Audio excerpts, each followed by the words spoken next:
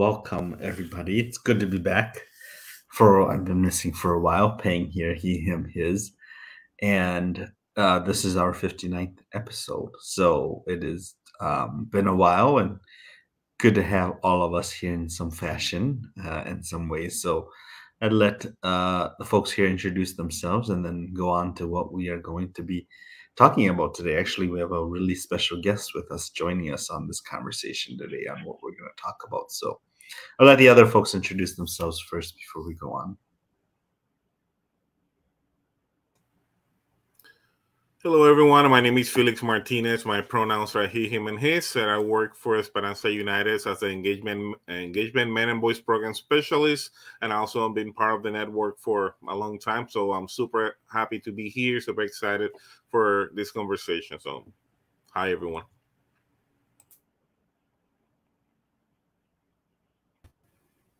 Hello, uh, my name is Serrano. Can y'all hear me? Okay.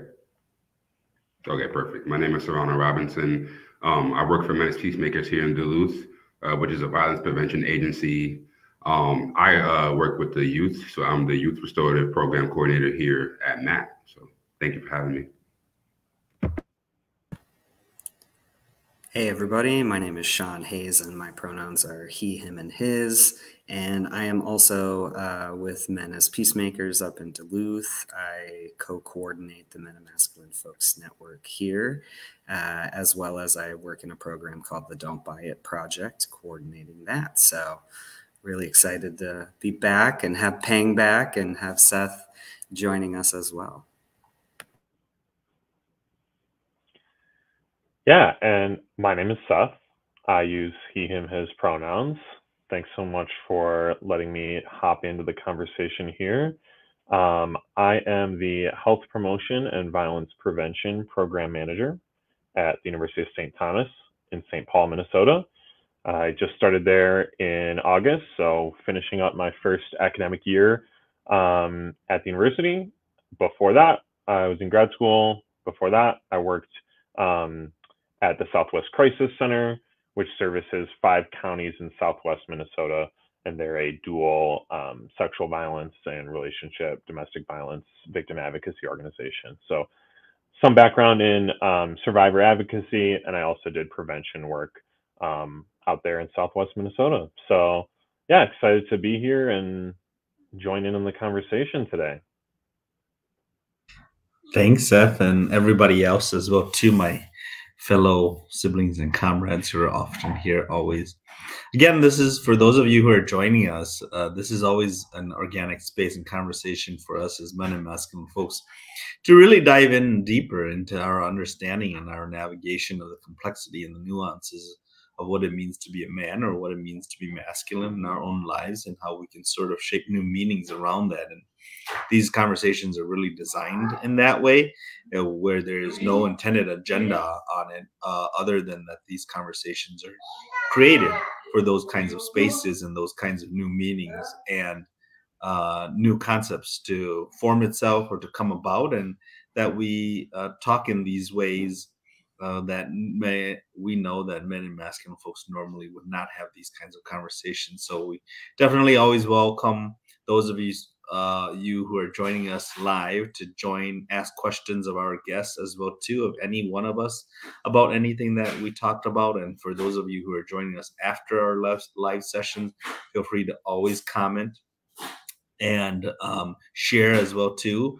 Uh, and uh, join our conversations or come and be a guest and have a conversation with us um, as well too. So we always enjoy that and uh, always look forward to having folks join us in the conversation. So maybe we can go a little bit back to uh, seth talk about maybe share a little bit about um, what you find uh, in terms of like meaningful in in the work that you're doing on college campuses and sort of like how you fell into uh, the work that however we define the work right? Um, but but really the work uh, is so big and so broad in terms of gender-based violence. Uh, and so if you could share a little bit about that and we can go from there. Yeah absolutely. So it really all started for me um, when i was an undergrad at syracuse university in upstate new york and um, I happened to kind of fall into a women's and gender studies course because it fit into my schedule and it was like a writing intensive class that I needed, and um, ended up really enjoying it. Got to know the professor a little bit. She encouraged me to take more classes. And there were two big kind of realizations that I had through those courses and um, and subsequent conversations. One was, you mean I could just go through life not having to prove to everyone how manly I am all the time? Um, as this idea of, oh, so many of the ways that I walk through the world that I hide certain aspects of myself with certain people or that I pretend to like things that I don't or that I pretend that I don't like things that I really do like or whatever. You know, the clothes that I'm wearing, everything. Really when I started to unpack that, how much of this is just me performing and learning about the socialization of gender, like all of that kind of stuff uh, really came together for me in undergrad. So that was a big part that I was motivated kind of for myself of, okay, I'd love to be able to just find something that feels more authentic to me without kind of proving how tough and manly I am constantly.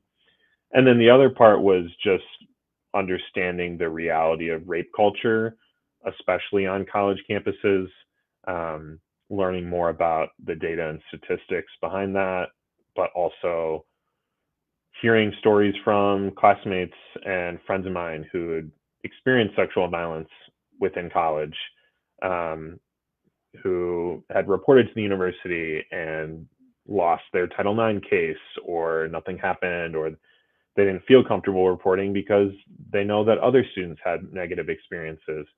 Um, and so that was all something that I felt really motivated to, you know, be a part of the solution, especially because I was really involved on campus. I was a tour guide and orientation leader and all that kind of stuff. And so I knew a lot of the administrators and it just seemed weird to me that this that that rape culture was alive and well at Syracuse, even though I knew that administrators, a lot of them were well-meaning and well-intentioned, but just showed kind of the the bigger system that um, is so hard to to eradicate. Uh, so those are the two things that really got me interested, and it felt like a place where um, I could make an impact, and I knew that we needed more men working in sexual violence prevention, and needed more um, uh, exposure of the reality that the vast majority of gender-based violence, sexual violence in particular, is caused by men. And so let's try to get to the root cause of that rather than, you know, the kind of previous generation of prevention work being more risk reduction, teaching people how to protect themselves, that kind of thing. Um, yeah, so all of that kind of led me up to working, like I mentioned, at the Crisis Center, and then uh, now my work at St. Thomas, um, which is really around. I do a lot of stuff around healthy masculinity. We have a monthly workshop that kind of builds on itself. We call it the Man Enough series, and then I'm also doing you know, healthy relationship workshops, bystander intervention, consent education, all that kind of stuff too. And what I find really meaningful is when you can tell that other men, particularly young men, are yearning to have these conversations. Um, I find that that so often that if you create the space, if you invite people in, if you you know find some opportunity to have this conversation like we are today, a lot of times I've been surprised how many men like are were waiting for that, want to do that, uh, have experiences that they want to share from their own life, but it's hard to be the one to kind of bring that up because of that socialization and how men aren't, you know, supposed to talk about our feelings and it's hard to be vulnerable and everything like that. So that's been really meaningful so far in my time in St. Thomas when I've been able to create those spaces and then finding that reaction from men or masculine college students who are like, thank you for doing this. I'm so glad we're able to talk about this today. There aren't a lot of spaces where I'm able to do this. Um, that feels really good and hopefully is leading towards culture change on campus as well. Yeah. Yes, thank you, Seth, for sharing that. I think it's always interesting to to talk to the men, masculine folks who are privileged to do this work uh, and invited to do this work, to really hear how you came into it uh, and how you are staying in it, and then how you're actually living out these values, right, and living out what we would call like a feminist and a queer life uh, and what does that really mean uh, for for you as an individual? And so that story really resonates. I think one of the things that i i can connect with was uh, when you were like uh, had to take the course because you needed the course or mm-hmm. because it was fulfilling for something. And i remember doing a workshop years ago um, at at a national conference and uh, I was trying to promote our workshop outside of the doors and I was trying to get a lot of the young men that were in the space to come into the workshop and one of the uh, young men that I had talked to was like, "Oh, I'm looking for this financial literacy workshop," and I was like, "I think you want to come in here first because you're not going to get to financial literacy until you understand domestic violence in the, our community, right, and sexual violence in our community and what's happening." And he was like, "Oh, okay." So I didn't know he had come into the workshop until at the end when he came and talked to me, and he was like, "Yeah," and I was like, "Oh, you did come into the workshop," and he was like, "I'm so glad I actually came," because the privilege of being men in community and masculine in community is that we don't see these things, right? Exactly mm-hmm. to your point of like, "Oh, I didn't know I didn't need to act tough." That I didn't need to do that, right?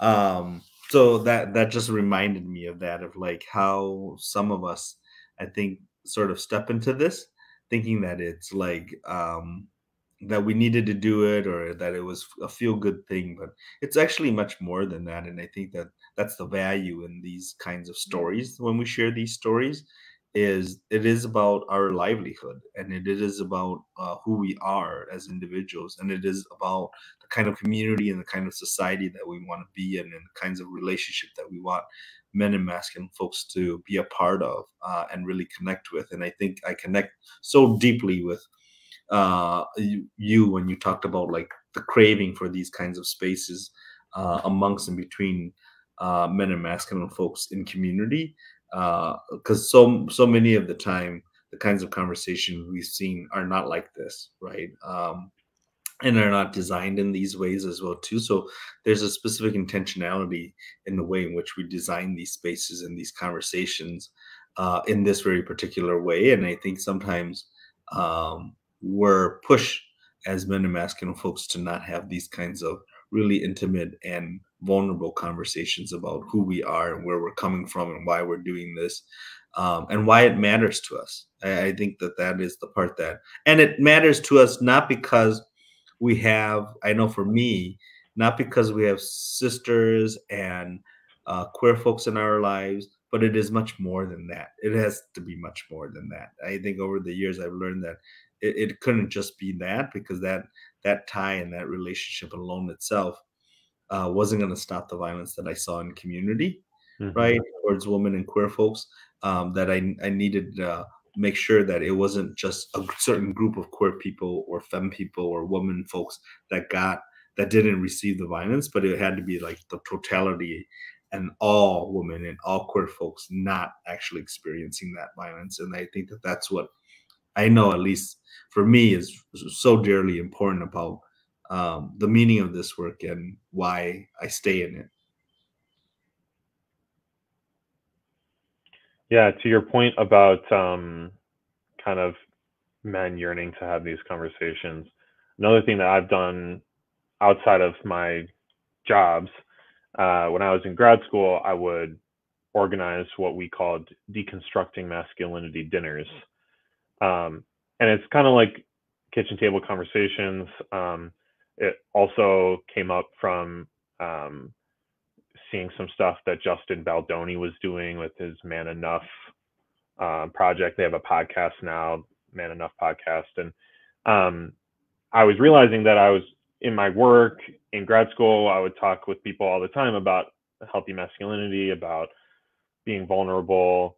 But then when I would hang out with my guy friends, my group of friends that I'd been friends with even for a long time, we were still talking about sports and beer and whatever. And so I thought, well, I got to start living this in my life too, and not just when I go to work. Um, and so I would just have my friends over for dinner. I'd usually have some kind of question to kind of get the conversation started. So sometimes it would be, hey, when was the last time that you cried? Sometimes it would be, um, did your parents have the talk with you about sex and relationships? Did they talk about consent? Um, you know, if you have kids or you want to have kids, how do you want to have that conversation with them? And it was just meant to be fun and casual and have a little bit of intentional space to be vulnerable and talk about some of those those topics. And there was one person in particular in our friend group who I was kind of nervous to invite, nervous that they just wouldn't want to do it, that they're it's not really their thing. Um, but eventually we got him to come and he participated in the conversation, had really interesting things to say. I got to know him better um, because of things that he shared. And then, you know, messaged us afterwards, hey, thanks so much. That was really great conversation. I enjoyed it. Looking forward to the next one. So I think it really is if you're able to create those conversations, people that even you don't necessarily expect uh, might surprise you with how much they were hoping to have that conversation or how much they got out of it.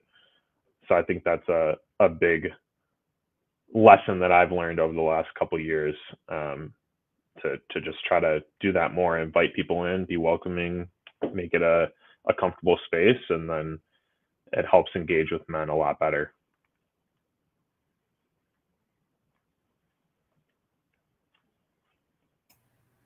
Yeah, thank you for sharing that. Seth I love uh, to see, you know, when you know these spaces are done intentionally, you know, to have this conversation, to open the space, to have conversation about masculinity, also self care, mental health, a lot of things that men don't normally talk about. You know, things are very important and help us create a base to to be better man, better father, better brothers, etc. So I, I really enjoy listening to that just because me as a man, I, I, I, never had this type of conversation since till I was uh, invited to to be in the retreat with the Men and Masculine Folks Network. I, I probably could hear things here and there, but doing intentionally and being in that point where I was alone and listening for first time and and all that stuff going through my head being a father of two daughters, obviously, all that changed my life. Something that I'm very grateful. But I would love to hear from you, Seth how how all this knowledge have changed your life, especially with relationships, you know, with, with, with partners. How before and after, how, how how would that have changed you, you know? Because uh, obviously, you know, we, we we listen, we hear from the society how men are supposed to behave how how we're supposed to treat women even sometimes we see it something different at home but how was your experience with that? How how how these work have changed your life in your relationships? Yeah. Yeah i mean it's it's been interesting kind of going through this work at the time in my life that i have because uh even when i was in college i would think back on like high school relationships and thinking about consent and like yeah we never had that language for it at least. There was some language about well i don't want to make somebody uncomfortable or put pressure or something but um, i started to think back about that. And then for a long time i was like uh, teaching about healthy relationships both to high schools and middle schools and now mostly with college students. Um, and then it was that okay i got to make sure that i'm like also living those same healthy characteristics in my own life. Um, i think a big part of it was kind of that feminist education that i got in undergrad. After taking that first class I ended up being a women's and gender studies minor um, and you know just learning so much about systems of oppression in the world, all the different types of privilege that I have, the ways that my own lived experience is different than other people uh, with with other identities, and that's informed a lot like the way that I show up in relationships and know that that my experience is going to be different. Um, yeah, I think it's it's also changed now because I'm in a relationship now that you know is relatively new. We've been dating for the last eight months or so, nine months, and um, and that's been kind of concurrent, like the same timeline as my job here at St. Thomas, which has been great. And so there's a lot of things that um, I'll think about at work, and then I'll think, oh, how does this dynamic come up in in my relationship, or vice versa. Um, and yeah, I mean, ultimately, it just comes down to like the importance of being vulnerable, communicating with your partner. Uh, it's really easy to talk in a workshop with a bunch of college students about how you should be vul- more vulnerable and um, share your feelings with your partner and you know and then you go home and feel that sense of reluctance and tension you think okay i know i how am i feeling or what is the like the need that's making me feel frustrated and how do i express that need in a in a compassionate way? Um, so it has been really good. Uh, i think doing this type of work like is really beneficial for everybody both kind of on a macro level of putting out healthy relationship skills having conversations about um, about that. The, the other and also like on a micro level in in your own interpersonal life i think those things are helpful. The other thing that's been interesting i also um, part of the southwest crisis center uh, my work there after i left that job to go to grad school a few years later they reached out to me because they were starting up a uh, domestic abuse transformation program um, which we use the duluth model. So very much at home with Men as Peacemakers, and uh, and they were doing a Zoom class of that. Uh, so it's a it's a nonviolence program for men who most of them have you know had some kind of criminal involvement with domestic assault, and this class is part of their probation or parole or something. And so I've been a co-facilitator for that group on Zoom. Uh, I think we're going on two years now. Um, and that's always been really interesting hearing about the participants' lives, their relationships, um, being able to talk about that with my partner now. Um, obviously, keeping everybody's confidentiality, but talking about themes and things that I'm learning and um, and seeing how, yeah, just how those dynamics play out at different levels and intensities and communication styles and everything. So um, that was kind of a broad answer, but I think it really is beneficial always to uh, be able to learn what you're doing in professional life and and apply it to your own relationships too, and um, and the opposite. So.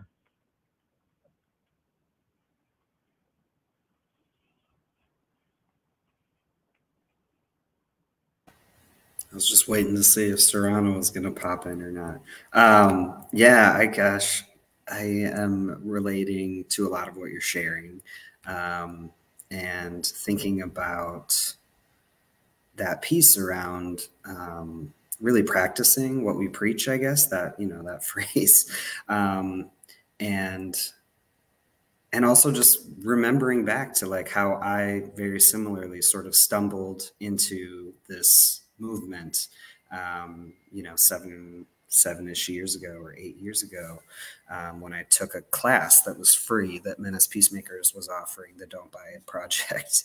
Um, and so I'm just I'm just like thinking about that piece. Like it seems like a lot of us sort of maybe stumbled into this work or we were uh, we or family members or friends were somehow impacted by violence and got here and I'm also thinking about the fact that, you know, a lot of the guys that I talk with very similarly are sort of yearning for more opportunities, more spaces like this to have the conversation.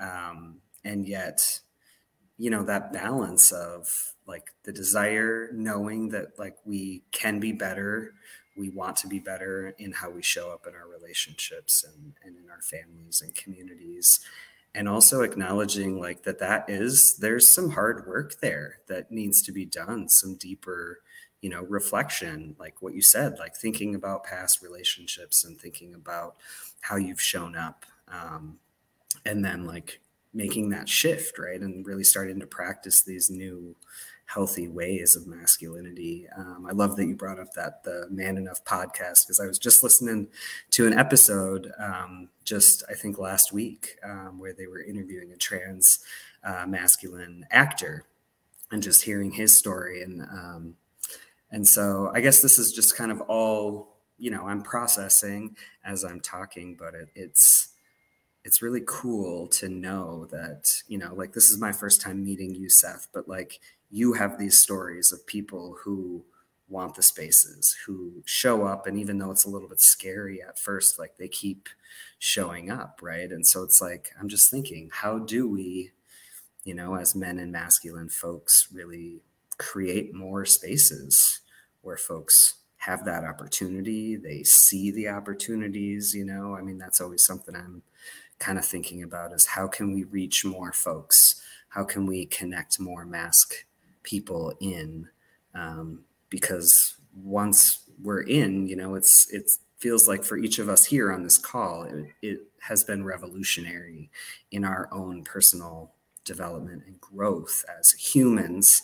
Um, and so yeah just just one of those things that i'm thinking like it's so cool to connect with more masc people doing this work um, it gives me hope that you know this is possible. Prevention of violence is possible um, as we work to change the ways that we show up and the people we're connected with. And so there's not really a question there. I guess just sharing appreciation that like this is hard work, I think, for men who haven't really ever taken the time to think about their privilege or the ways that they're showing up for partners or families. Um, it's hard to do that. And also, it just feels so healing, you know, in my experience, um, to be making those kinds of shifts. And so, yeah, I'll pause there. But yeah, I like what you said about kind of the entry points and how a lot of people, a lot of men come into this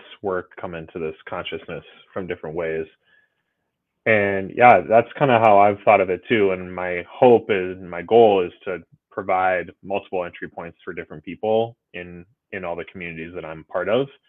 Um, and so sometimes the entry point is a mandated 26 week class that you have to go to. And i can tell you with the two years that we've been doing it there has we haven't had any volunteers who just want to come for 26 weeks because they heard about it.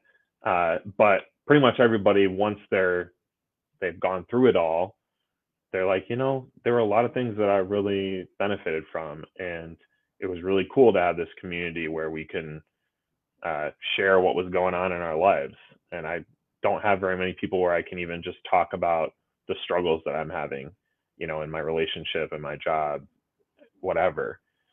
Um, and I know like another resource for people to check out. I watched a, a documentary. It's available on YouTube, "The Feminist and Cell Block Y," um, which is a you know another touch point for people who are incarcerated. Um, and it was a, a workshop program uh, there where they could entry point into kind of feminist consciousness and, and healthy masculinity conversations. Um, and then, yeah, sometimes it's just bringing your friends over for dinner. So that's one thing I'm doing. I think that everybody can kind of think about what are the touch points, entryways that we could create. Um, it doesn't have to be like traveling all over the place and bringing people in. It could just be people that you're in community with in some way already. So.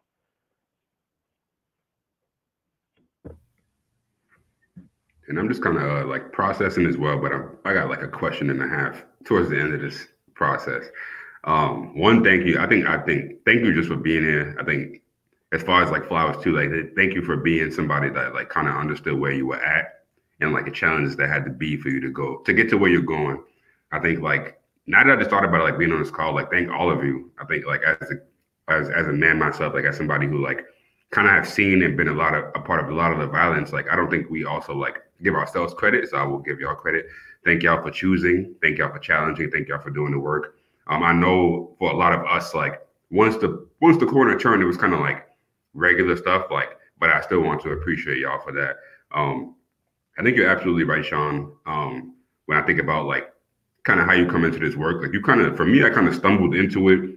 But then once you stumble into it, you kind of have so many tied values to it to the point where you can't leave. Like, um, whether you want to, whether you don't, you know, um, you know, whether it's my mom, you know, who has been through a lot of like violence, or my siblings who have got to see a lot of violence, um, or be separated from my mom due to violence, um, whether it's my grandma, my aunts, my uncles, just kind of watching people kind of like be affected by violence is something that once I noticed, I was like, okay, this is something that I cannot just walk away from, right? Like that's kind of bullshit to just be like, yeah, I know this exists.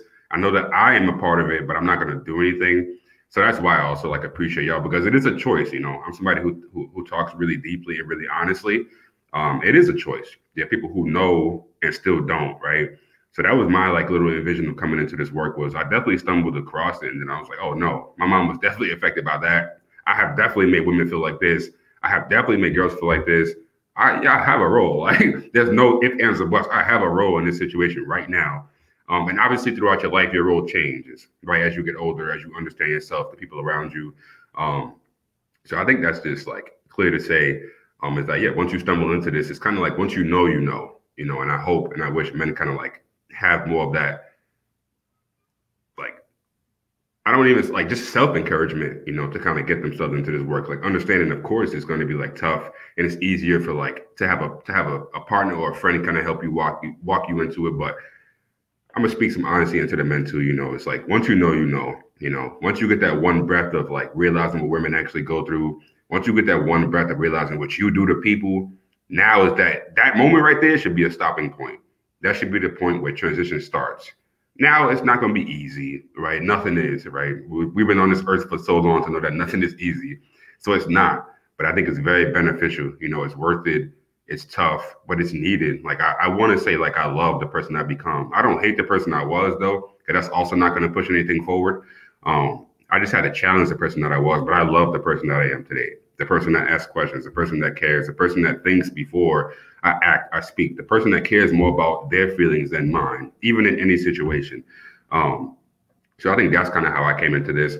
And my question is, it's kind of like a two part. Um, have you always worked with college folks around this, and how has the and if if you have, um, why why college age? Is is this something that you chose? Is this something like um, was kind of just given to you? Is something like was kind of forced or put into your lap? Um, why yeah? Why college age? Yeah, thanks for for sharing that and and holding space for that, Serrano. Um, I have not always worked with college students. I originally once I graduated from college, working at the Crisis, Southwest Crisis Center, I was working mostly with high school and middle school students. We did some um, with the the community and technical college in the area, um, and I think that work was great. And I certainly believe that we need to be having conversations about healthy relationships and consent and masculinity at early ages. And there's very much like age appropriate ways to do that. Um, I just found for myself, I was enjoying doing this work with older students, with high schools and, and, especially college students. And maybe part of that was kind of that was my entry point into all of this was when I was in college. Um, and so that was something that I I intentionally looked for and sought out, um, not necessarily because it it was like what I thought was the most important or the you know that we should be having these conversations more with college students than we should with high school students but it was kind of thinking about what is going to be sustainable for me to continue this work and still be kind of uh, energized and and enthusiastic about it. And I was I thought I think working with college students um, so that was kind of my motivation for going to grad school and getting some of that knowledge and uh, and skills necessary to be able to work on a college campus. the other thing I like about it is it's kind of a, a self-contained environment and it can feel a little bit easier to make institutional or policy change within one college than it is like at the state or federal level. Um, and you can kind of see some of those impacts a little bit quicker, easier, more tangibly. So um, that was another draw for me, even though there's plenty of bureaucracy and hurdles to get over to make college wide or university wide policy changes too. But um, but yeah, that's kind of what attracted me to the work and being able to have those a little bit more conversations that feel like talking with peers um, with college students, you know, was something that drew me in as well.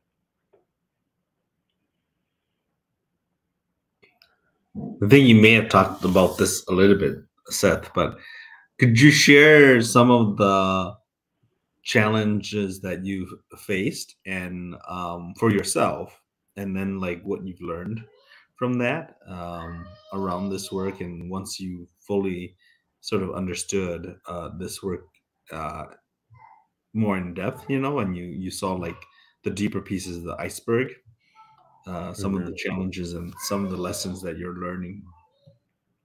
Yeah.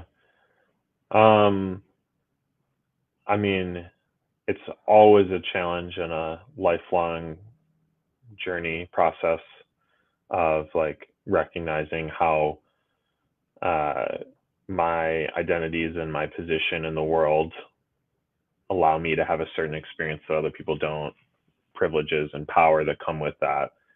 Um, and on top of all those kind of identities that we often talk about, you know, me being a white cis man, um, I'm also like extroverted and um, naturally kind of take up a lot of space. Uh, and so learning to kind of listen and know when to step up, try to advocate for voices that need to be advocated for that or amplify voices that I, I think are gonna help us get to the, the root causes of structural violence. Um, but also knowing when to kind of be like, okay, this is not my turn to talk. Um, you know, and, and that shows up in my work. It also shows up in my relationship. Like, definitely still working on listening. Um, I'll tell you one small story, but uh, so my girlfriend and I like to do puzzles together. And for I think Valentine's Day, yeah, we I was trying to think of like what kind of gift I should get her and somehow I had this idea of getting her like a puzzle board. Um, so this like board that has drawers in it, so you can sort the different pieces, and you can like put it up on top of a table, or you could set it up on legs on the floor if you want. And then if you get halfway through, but you need to like clean up, you can move it somewhere else and everything. and then I gave it to her and I thought, oh, look at me. I got this great gift. It's something that we like doing together. I, you know, I know that she loves puzzles and I got her a gift based on that. Like, good job, Seth. And then eventually come to realize that she already had one that was like technically her friend's, but really like she had it. And she had definitely told me that before, which was probably what put the idea in the back of my brain to begin with. And I had just not processed that, not like listened deeply enough or whatever to to realize that. So then I'm all embarrassed and you know, kind of have the opposite feelings of oh, I'm not a good enough partner and I need to like really and so we just had some good conversations about it and um it's kind of my my status quo is to like speed through things to uh, often be the one who's like talking about how my day was instead of asking questions about how her day was and that kind of thing. And so, yeah, I don't think that's something that I can be like, all right, I have figured out, I fixed that and now we're good. It's just going to be, I got to keep kind of reminding myself to slow down and really be like deeply listening and, you know, maybe make little notes for myself of like, hey, she mentioned this. I'm going to remember that for the future, whatever. So that's just one example of the ways that and, all of that is connected to the ways that men are taught how to be and that you know on a broader level like our what we want matters more or you know what are my goals in life what are my career aspirations i should be able to accomplish those um, you know if i'm a little kid who's extroverted and always answering questions. I'm a future leader and I'm praised for that. Um, but not necessarily if I'm in the background listening and taking everything in. And so it's figuring out okay, you learn about all these broad structures and we have these conversations about how gender is a social construct. And I think there's a, lot of that vocab that's becoming more familiar now. And then like you said, Serrano, it's kind of like once you see it, you can't unsee it. And it, having that process of, okay, I know how these systems are impacting my own life, and I need to recognize that and then make the choice to like counteract that, push against it, do what I can to not fall into that. Um, so I think it's it's a struggle, but it's also like that's just kind of part of how life is and part of the work. Um, and then, so that's kind of on a on a personal level. There's all sorts of challenges that I could get into too, like on a professional level, doing this work, getting um, getting buy-in from people above me, getting resources, you know, showing that sexual violence is an issue on college campuses when we don't necessarily have a lot of reports um, all those different systems that are that are big and insidious and hard to get to the root cause of. Um, but I think that's just kind of thinking of creative ways and developing partnerships and everything like that.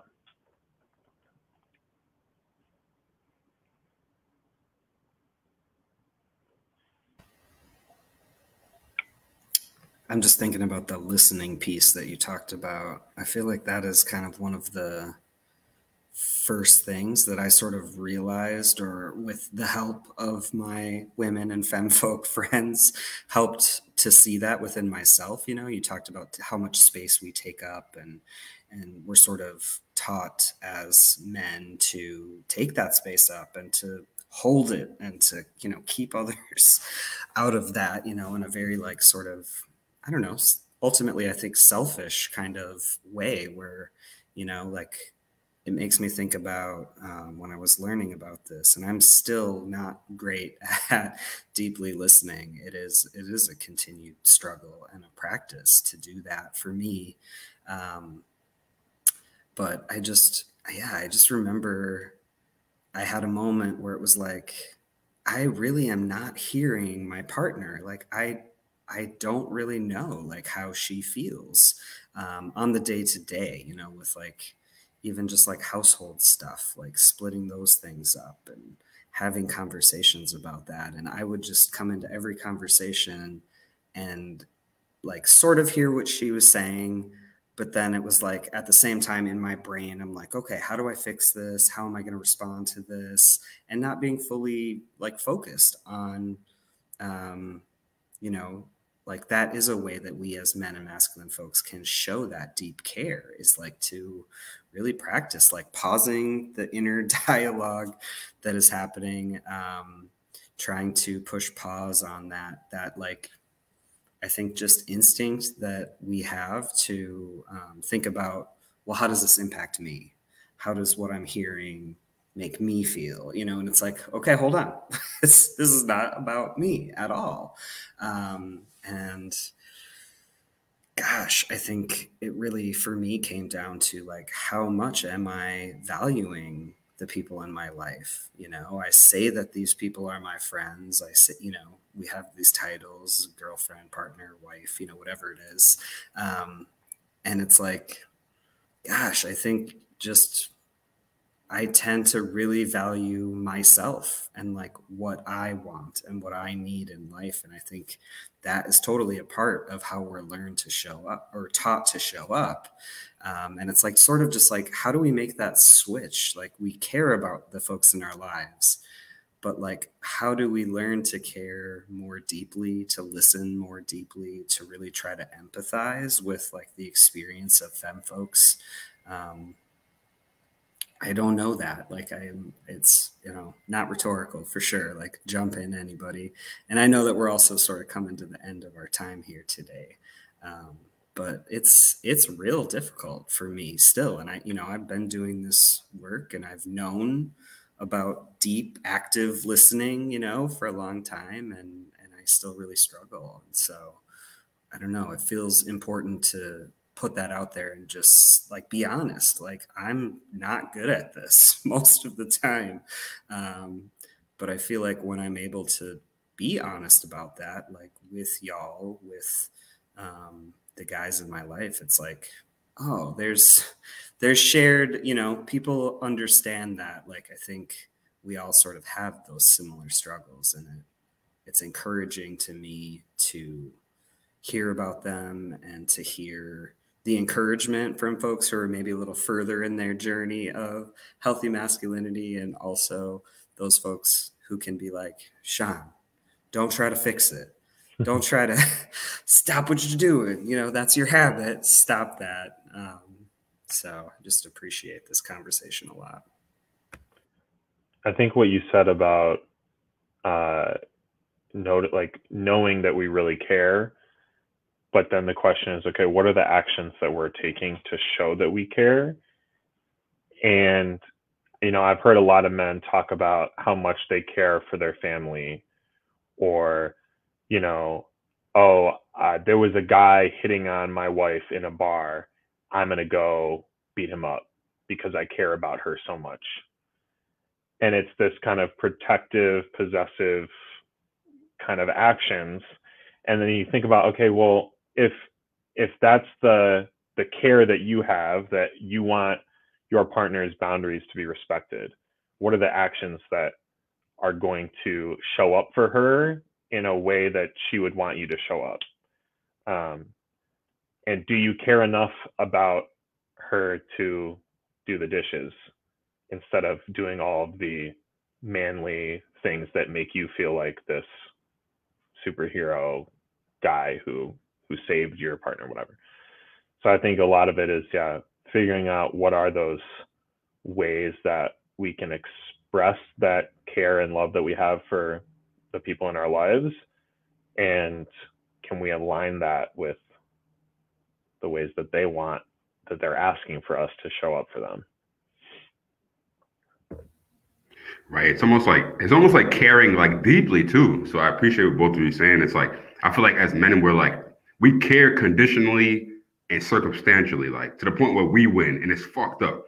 And I, again, I apologize for my um for for my language, but it's like we care to the point of where we succeed, and that's like the most heartbreaking thing I can ever like see in myself and see in the people around me.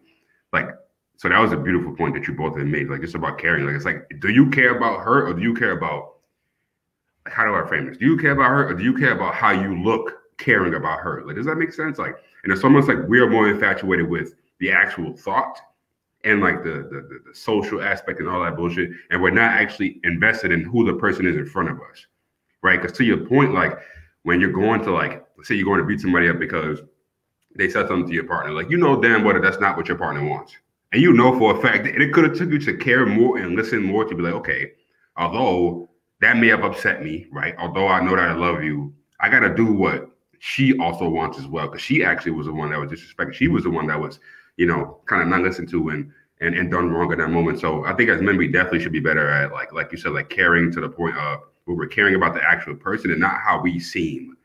We have too much more like we have yeah too much care about how we're seen, and then that just like fucks it up too. Um, and then like the listening part as well. It's like I love what both of you talked about about active listening. I feel like as men too, we just literally just be listening to respond. Like it's like both of them. Like we don't listen to care, and we also just literally just just be responding to shit. Like I'll be talking to people like men in my life, and like you ever talk to somebody, you can tell that they're not paying attention to what you're saying. Now take that and like imagine how somebody who like intimately loves you and wants you to connect. Like I can only imagine a fraction of that. I can only imagine a fraction of that of how they would feel. Um, so I think definitely being better about I call it like listening to give a shit because you like you're listening to learn. Mm. Like I've had that in my life too. So I like, you know, I love that y'all being vulnerable. And I'm at this table too. Like I've had times in my intimate life where, you know, I thought, you know, talking about the colors and what she likes and, you know, listening like that's awesome dumb shit and that's some soft shit. And it's like, no, okay, then let's fast forward it to the point where on your birthdays and Valentine's Day, I don't know what to get you. Oh yeah, that's not her problem. That's a me problem. Like that's a problem that I didn't get a chance to listen to, you know. So I think like I appreciate you being vulnerable in that sense, Seth. And I've also just been through the same things with like, am I listening to care? It's like, no, I'm listening just to pass the time, to be very honest. Like just because I can too, you know, men are primed to be, be the person to like have the last word, right? Respond last and not even hear other people, you know, and, and especially intimate partners. So I just appreciate y'all just kind of talking about the listening um in the caring part because I, I know for damn sure like I've had equations where I'm like, okay, I don't know what she likes. And it's literally because I didn't listen well, or I didn't ask those questions, or I thought talking about shapes and colors was stupid. Like if you like if you talk about those things, that's gonna create literally a mold for you to know what to do for that person. Like literally, if I know your color right now, I know what type of flowers, what type of sweater. Like I'm, I struggle with gifts, so that question itself kind of I felt like I felt attacked because I was like, do I just not listen to nobody? Like, um, but now in all seriousness, like I think you're absolutely right. Like we gotta do better at like listening to care and also caring to care, like not caring to have anything come behind you, but caring to where like our partners might might not even have to say anything anymore. Like, why do they even have to tell us certain things, right? Like instead of doing the manly or what we say manly like tasks, do what she asked you to do. Like, and I'll ask people like, and they'll be like, "Oh, why should I do this?" I'm like, because you love me, right? Like, what the? fuck? Why are we even putting question marks on when some? Because you know we love to do that as men. Why do I got to do that? Because the person you say you love asks you to. That's that shouldn't be anything bigger than that. Like, why do we got to keep escalating the reasons why we listen to our partner? That should be as thin as it can be, right? It's I'm listening because, and I'm doing this because the person I love told me to, or they asked of me. We forget that favors are part of love too, and we fuck up right away when we're like, no, I'm supposed to be doing the garbage and the it's like, no, she's asking you that probably because she has a lot going on. And again, if you're caring, if you're listening, you'll hear that. All right, bet, babe, I got you. No matter what, whatever you want me to do, I got you. But instead, we go to the social cues of how am I going to be looked at doing dishes in my Crocs, right? Or how am I going to be looked at doing laundry in my pink shirt or doing laundry in my dirty sweats? It's like you care more about how other people feel, and it's sad because the only person that's really being hurt, or the the the, the deepest person that's being hurt, is your partner by it. So I just appreciate y'all talking about like listening and caring in that way. Yeah, I think that's something, one of those things as a man, we need to probably put more focus on. Uh, I've been with my partner for 24 years and haven't been easy. You know, it's something that you keep learning.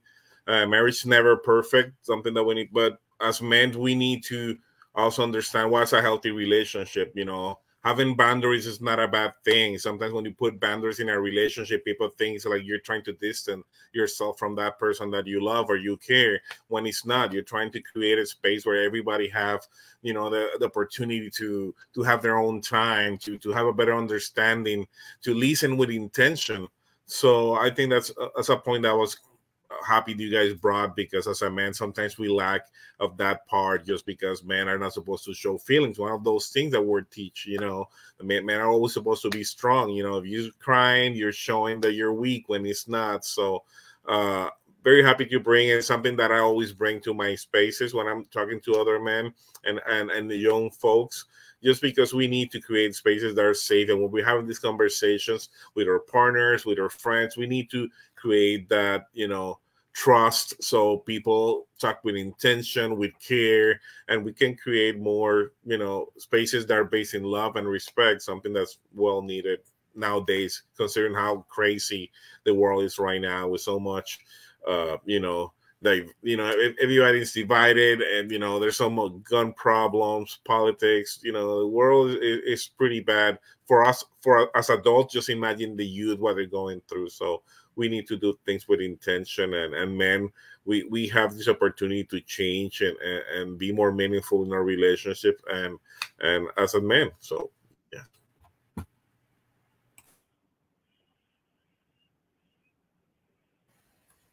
Well, I'll just hop in too. I uh, something you had said, Serrano, made me remember this TikTok I saw. TikTok uh, has taught me so much, uh, and it's people just sharing things, right? Sharing mm-hmm. what they know on TikTok.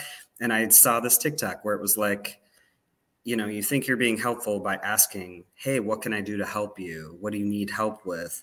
Rather than looking around and seeing the dirty dishes in the sink seeing that the trash can is overflowing and taking care of that, right? Rather than putting on that additional um, work, you know, to our to our fem and women partners and and people we love. So I was just that struck me, and that is something I need to work on myself yeah. as well. But um, yeah, I just wanted to throw it out there. If Pheng or Seth have um, any final thoughts as we're coming to the end of our time here.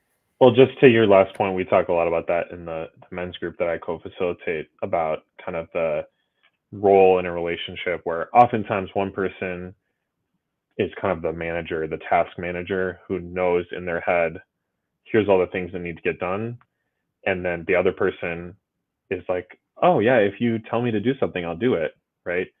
But it, it takes a job to be the one that has everything in their head about okay so and so needs to be picked up from practice we need to go to the grocery store get this this and this and i saw a list on reddit recently that my brother actually told me about that was like kind of asking dads in particular go through this list and how many of these things do you know and it was like your your child's teacher's name uh, three things that your child likes to eat and doesn't like to eat what's in the fridge right now you know like your child's best friend and a place that they like to go after school, like on and on. When is their next doctor's appointment? And there's so many things like that that it's easy to think, oh, I'm a really supportive partner. I I don't complain about doing stuff. Um, but can you create it so that you're truly a partner where both people are are the ones figuring out okay these are all the things that need to get done and i'm an active participant in that um, and so i think that's one place that we can kind of continue to build on because um, it's one thing to talk about hey i know what are what are healthy and unhealthy characteristics. I know what are you know ways to like set up boundaries and i want to respect my partner's boundaries and everything. But um, that's one thing i'm going to try to do next academic year is go a little bit beyond that conversation and into this how do we really create more equitable relationships? Um, and some of the things that we talked about about showing up for our, our partners and our friends and our you know family in ways that they want in, in the way that they want us to show up for them.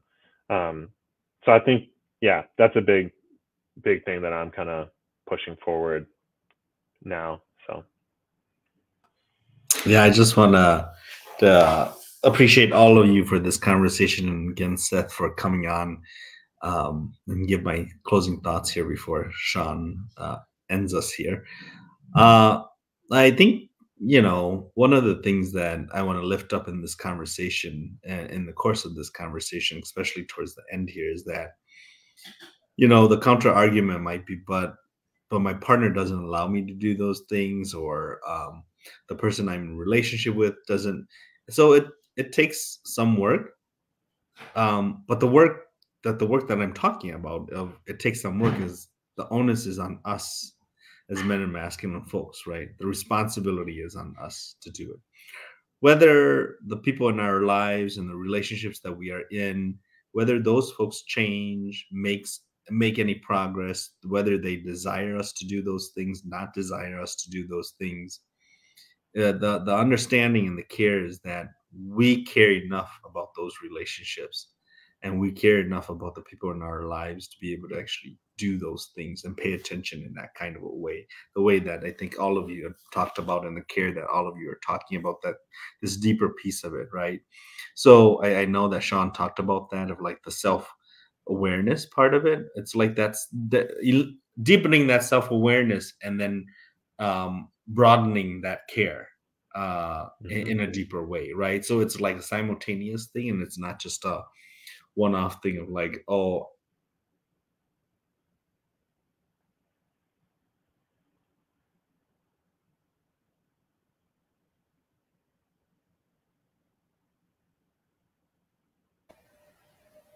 Dang it. Pheng. That was going to be good. You're frozen. There's a profound moment that we just yeah. missed out on. Ah, oh, dang, technology. Give it another minute here.